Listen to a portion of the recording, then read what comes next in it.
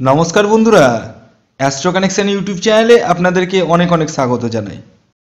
বন্ধুরা, দশই জুন সূর্যগ্রহণ হতে চলেছে।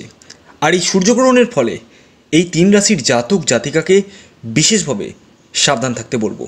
কোন কোন দিক থেকে আপনারা সাবধান থাকবেন এবং কোন সেই তিন রাশি, যে রাশিগুলিকে সাবধান থাকতে হবে, তা আমি ভিডিওতে বলতে চলেছি। তাই ভিডিওটি মনোযোগের সাথে সম্পূর্ণ দেখতে থাকুন। তাহলে আর দেরি না করে শুরু করা যাক।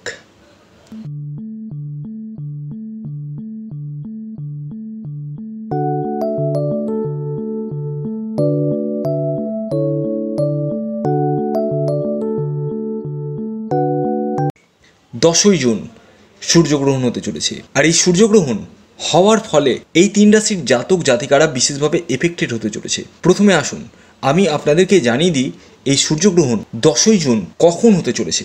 এই সূর্যগ্রহণ দশই জুন দুপুর একটা বিয়াল্লিশ মিনিটে স্টার্ট হতে চলেছে এবং এটি চলবে সন্ধে ছটা পঁয়তাল্লিশ মিনিট পর্যন্ত। অর্থাৎ টানা সাড়ে পাঁচ ঘণ্টার উপরে এই গ্রহণ চলতে চলেছে, যার প্রভাব প্রতিটি রাশি পাবে। তার মধ্যে এই তিন রাশি বিশেষভাবে সাবধান থাকবেন। আরেকটি কথা আমি জানিয়ে দিই, এই গ্রহণ মানেই কিন্তু ভালো নয়। গ্রহণ মানে কিন্তু কিছু পরিমাণ খারাপ এফেক্ট প্রত্যেক রাশির কিন্তু দেয়। তার মধ্যে এই তিন রাশির বেশি পরিমাণ খারাপ এফেক্ট দিতে চলেছে। কোন দিক থেকে খারাপ এফেক্ট আসবে সেটা আমি অবশ্যই বলব। তার আগে একটি কথা বলে দিই, যে কোনো গ্রহণের একটি সূতক সময় হয়, সেটি কিন্তু স্টার্ট হয় বারো ঘণ্টা আগে। অর্থাৎ এই সূর্যগ্রহণ দশই জুন দুপুর একটা বিয়াল্লিশ মিনিটে স্টার্ট হতে চলেছে, কিন্তু তার বারো ঘণ্টার আগে, অর্থাৎ রাত্রিবেলা, তার সূতক সময় স্টার্ট হয়ে যায়। যার ফলে এই সূতক সময় থেকে আপনাদেরকে বিশেষভাবে সাবধান থাকতে হবে। তার আগে একটি বিষয় জানিয়ে দিয়ে আমি প্রতি রবিবার আপনাদের জন্য ফ্রি সার্ভিস চালু করেছি। তবে আমার এটি এই চ্যানেলে নয়, সেটি আমার আরেকটি চ্যানেলে চ্যানেলটির নাম astro target A S TRO TAR GET এই চ্যানেলে প্রতি রবিবার আপনারা ফ্রিতে জন্মছক বিশ্লেষণ করতে পারবেন। তাই এখনও পর্যন্ত যারা চ্যানেলটিকে সাবস্ক্রাইব করেননি, তারা চ্যানেলটিকে সাবস্ক্রাইব করে সেই চ্যানেলের সানডে কমেন্টস বক্সে আপনি আপনার নাম, আপনার জন্ম তারিখ জন্ম সময় এবং জন্মস্থান উল্লেখ করুন। আগামী রবিবার আপনারটা পিক করা হবে। তাহলে আসুন, জেনে নেওয়া যাক এই সূর্যগ্রহণের ফলে কোন তিন রাশি এফেক্টেড হতে চলেছে। প্রথম যে রাশির কথা বলব, সেটি হচ্ছে সিংহ রাশি। হ্যাঁ বন্ধুরা, আপনি যদি সিংহ রাশির জাতক বা জাতিকা হন, তাহলে আপনারা বিশেষভাবে সাবধান হয়ে যান এই সূর্যগ্রহণ থেকে। এই সময়ের মধ্যে অর্থাৎ এই সূতক কাল থেকে সূর্যগ্রহণের পরের বারো ঘণ্টা পর্যন্ত আপনাদের সাবধান থাকতে হবে। এই সময় বড় কোনো টাকা ডিলিংস করবেন না। এছাড়াও কোনো ইম্পর্টেন্স কাজ রাখবেন না। এই সময় ছুরি, কাঁচির ব্যবহার একদমই করবেন না। এবং যারা বিজনেস করছেন, তাদের কিন্তু বিজনেসে টাকা ইনভেস্ট করা এখন উচিত হবে না। এছাড়াও এই সময় কোনো ঝুট ঝামেলায় কিন্তু আপনারা পড়তে পারেন। সেটা আইনত জটিলতাও হতে পারে বা গভর্নমেন্ট পানিশমেন্টও আসতে পারে। এই সমস্ত কিছু কিন্তু আপনাদের জীবনে ঘটার সম্ভাবনা রয়েছে।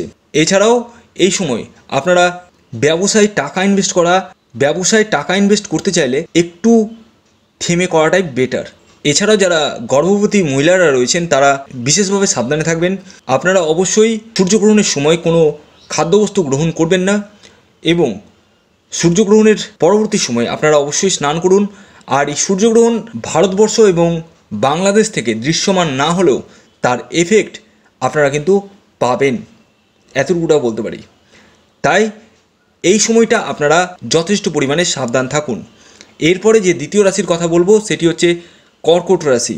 হ্যাঁ বন্ধুরা, আপনি যদি কর্কট রাশির জাতক বা জাতিকা হন, তাহলে দশই জুন সূর্যগ্রহণের প্রভাবে আপনারা কিন্তু এফেক্টেড হতে চলেছেন। অর্থাৎ আপনাদের জীবনেও কিন্তু কিছু পরিমাণ বাধা বিঘ্নের সম্মুখীন হওয়ার সম্ভাবনা রয়েছে। এই সূর্যগ্রহণের পূর্বের বারো ঘণ্টা আগে সূতক কাল স্টার্ট হয়ে যায়। অর্থাৎ প্রতিটি গ্রহণেরই হয়, এই গ্রহণেরও কোনো ব্যতিক্রম নেই। এই সূতককাল থেকে সূর্যগ্রহণের পরবর্তী সময় পর্যন্ত আপনারা বিশেষভাবে সাবধান থাকবেন। এই সময় বড় ধরনের টাকা ডিলিংস করবেন না। এছাড়াও এই সময় ছুরি, কাচির ব্যবহার করবেন না। এবং যারা গর্ভবতী মহিলারা রয়েছেন, তারা বিশেষভাবে সাবধানে থাকুন। এবং সূর্যগ্রহণের পরবর্তী সময়ে, অর্থাৎ যখন সূর্যগ্রহণটি শেষ হবে, অর্থাৎ ছটা পঁয়তাল্লিশ মিনিটে, তারপরে আপনারা স্নান করুন। এছাড়াও এই সময়, অর্থাৎ সূর্যগ্রহণের পরবর্তী সময়ে, আপনারা কিন্তু একটু রাস্তাঘাটে যখন চলাফেরা করবেন, তখন একটু সাবধানে চলাফেরা করবেন।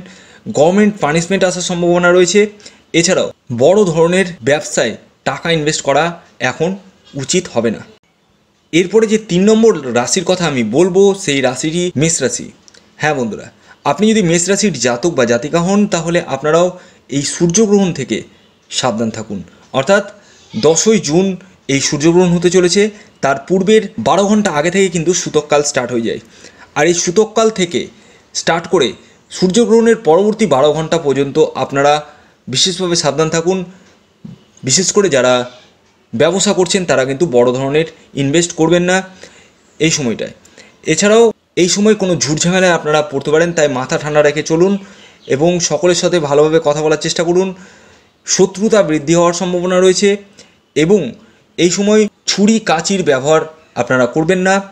এছাড়াও যারা চাকরির জন্য প্রচেষ্টা করছেন, তাদের ক্ষেত্রেও কিন্তু সাবধানতার বাণী আমি বলব। এই সময় কিন্তু চাকুরি ক্ষেত্রে কিন্তু হওয়ার ক্ষেত্রে কিন্তু প্রবলেম ক্রিয়েট হবে।